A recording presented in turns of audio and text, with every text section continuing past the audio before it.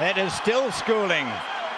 He's transferred the form that he showed in the heats into the semi-finals and into the final, and he's a body length clear almost. Can he hold on?